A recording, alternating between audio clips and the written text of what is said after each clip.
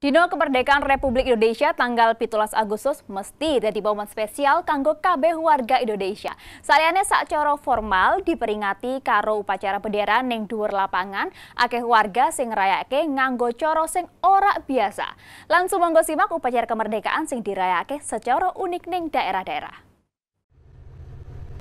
Ning Kota Semarang, Korps Polisi Air Lan Udara Mabes Polri sing diperbantu kene Kota Semarang uga nelayan ngelar upacara bendera kemerdekaan Republik Indonesia ning dhuwur kapal ning tengah skoro. Telu kapal dua Korps Polisi Air Lan Udara Mabes Polri lan kapal nelayan baris kaya upacara bendera podo umume.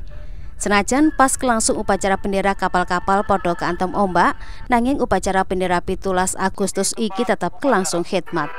Sawetara kuwi para nelayan dilibatkan ing upacara bendera 17 Agustus iki kanggo ningkatke jiwa nasionalisme ning kalangan nelayan.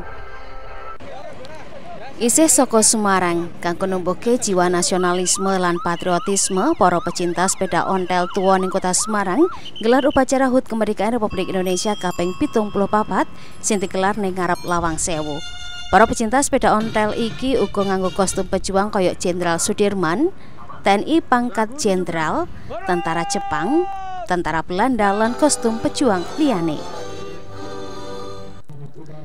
Sawetara kuwi ning Batang, upacara bendera HUT Kemerdekaan Republik Indonesia kaping 74 digelar secara unik. Puluhan pawang lan kewan-kewan penghuni Taman Safari Batang Dolphin Center Kabupaten Batang melu upacara mengeti HUT kaping 74 Republik Indonesia ning halaman kebun binatang.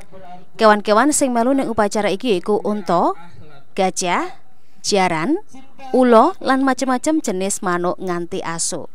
Ora gampang kanggo ngatur para kewan supaya tenang baris melu upacara bendera.